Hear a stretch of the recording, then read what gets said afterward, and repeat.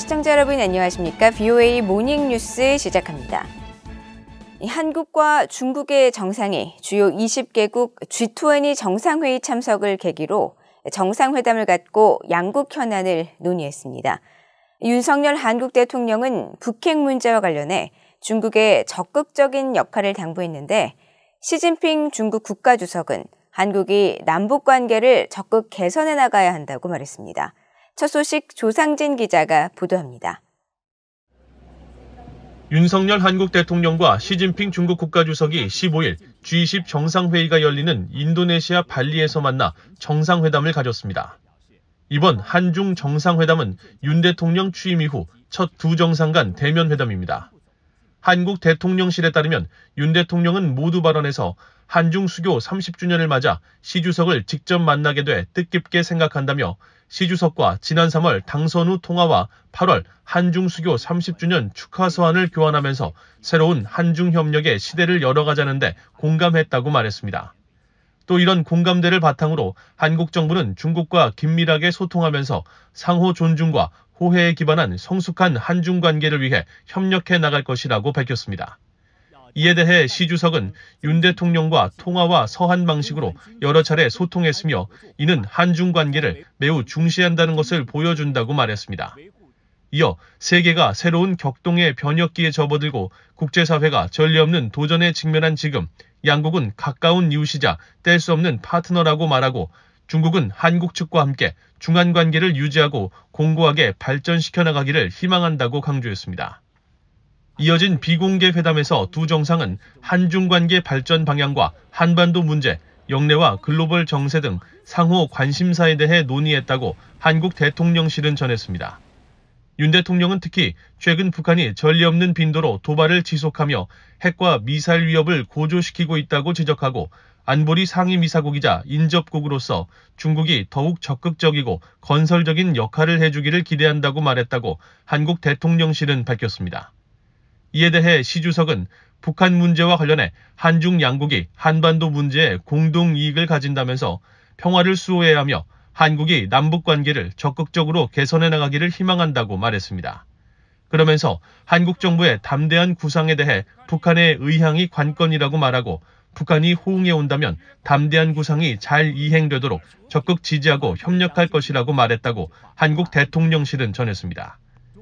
윤석열 대통령 취임 후 처음으로 대면 정상회담을 가진 한중 정상은 양국 간 교류와 협력이 지난 1992년 수교 이래 비약적으로 성장했다고 평가하고 수교 30주년을 맞아 상호 존중과 호혜, 공동 이익에 입각해 양국 관계를 더욱 성숙하게 발전시켜 나가자는데 입장을 같이 한 것으로 알려졌습니다. 또 팬데믹과 글로벌 경기 침체, 기후변화와 같은 복합적인 도전을 함께 극복하기 위해 한중 양국 간 고위급 대화를 정례적으로 활발히 추진하자는 데도 공감했다고 한국 대통령실은 전했습니다. BOA 뉴스 조상진입니다. 한국과 중국의 북핵 수석 대표가 화상회담을 갖고 북한 등 한반도 문제를 비롯한 현안을 논의했습니다. 김건 한국 외교부 한반도 평화교섭본부장과 류샤오밍 중국 외교부 한반도 사무특별 대표는 15일 회담에서 그동안 한중 간 북핵 문제와 관련해 외교 채널을 통한 심도 있는 소통이 이루어졌으며 최근 다자 회의를 계기로 최고위급에서 긴밀한 협의가 이루어지고 있는 것을 높이 평가했다고 한국 외교부가 밝혔습니다. 또 김 본부장은 북한이 전례 없는 빈도로 도발을 지속하며 한반도와 영내 긴장을 고조시키고 있는 데 대해 우려를 표하고 북한이 도발을 중단하고 비핵화 대화에 나설 수 있도록 중국의 적극적인 역할을 당부했으며 북한의 7차 핵실험 가능성에 대해 중국이 북한에 엄정한 메시지를 발신할 필요가 있다고 강조했습니다. 이에 대해 류 대표는 중국이 한반도 평화와 안정 수호를 비롯한 비핵화 실현을 위해 건설적 역할을 계속 수행할 것이라면서 빠른 시일 내로 김 본부장을 직접 만나 현안을 논의할 수 있기를 기대한다고 말했다고 한국 외교부는 밝혔습니다. 미국의 한반도 전문가들은 이번 미한일 3국 정상회담에 대해 공동성명을 통해 억제력 강화를 강조하고 북핵 위협에 대한 강력한 공조를 확인했다고 평가했습니다. 특히 북한 미사일 경보 정보를 실시간으로 공유하는 데 합의한 것은 매우 중요하고 구체적인 진전으로 꼽았습니다. 박동정 기자입니다. 조셉 티트라니 전 육자회담 미국 측 차석 대표는 14일 VOA에 미 한일 정상이 이번 공동 성명을 통해 북핵 미사일 위협 대응을 위한 3국 간 협력 의지를 재확인했다고 말했습니다. 특히 미국이 한반도 비핵화 목표와 함께 확장 억제 강화를 강조한 점을 높이 평가했습니다. Deterrence is key. And, and, and our commitment, when we talk about extended nuclear deterrence, and that, that commitment is ironclad. And, and, and I think that in some ways, that allays some of the concerns about maybe redeploying tactical nuclear weapons to, uh, to South Korea, to Japan, or even possibly uh, South Korea, Japan pursuing their own nuclear weapons capabilities. I think this would allay those concerns by saying the United States is there. The nuclear umbrella is there. 로버트 에이브럼스 전 주한미군 사령관은 이번 공동성명에서 가장 주목해야 할 부분으로 북한 미사일에 대한 경보 정보의 실시간 공유를 꼽으면서 미한일 3국의 이 같은 공조는 1년 전만 해도 상상도 할 수 없었던 일이라고 평가했습니다. 특히 한일 간 갈등으로 양국 간 군사정보보호협정 지소미아가 종료 유예 상태인 점을 상기하면서 이번 공동성명으로 3국 간 집단 방위태세 강화 유형의 정보를 신속히 공유하는 데 방해가 되는 모든 걸림돌이 제거될 것이라고 진단했습니다. 크리스토퍼 존스톤 전 백악관 국가안전보장회의 동아시아 국장은 한국이 한반도 문제에만 국한하지 않고 인도태평양 협력 사안에 대해 폭넓은 합의를 한 것이 고무적이라고 말했습니다.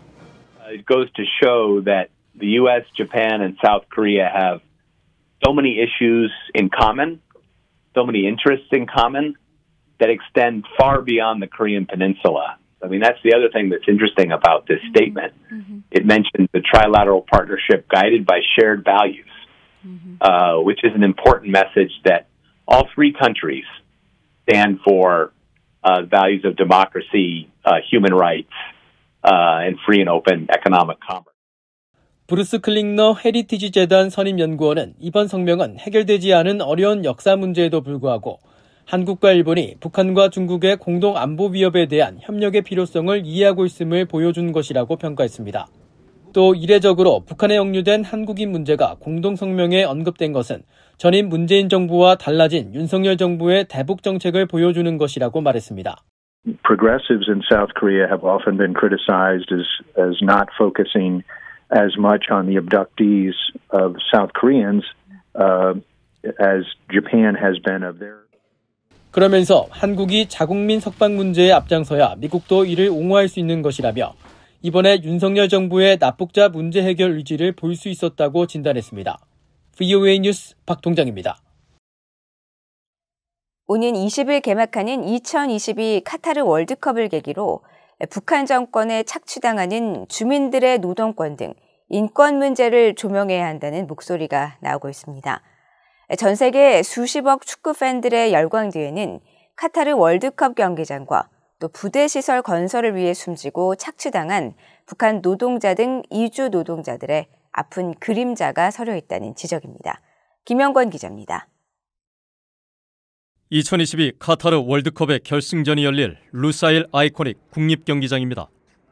국제 이주 인권단체들은 이곳을 비롯해 카타르 월드컵에 사용할 여러 경기장과 호텔 등을 건설하다가 6,500여 이주 노동자들이 불볕 더위, 제대로 된 보호 장비 없이 노동 착취를 당하다 사망했다는 조사 결과를 발표했습니다.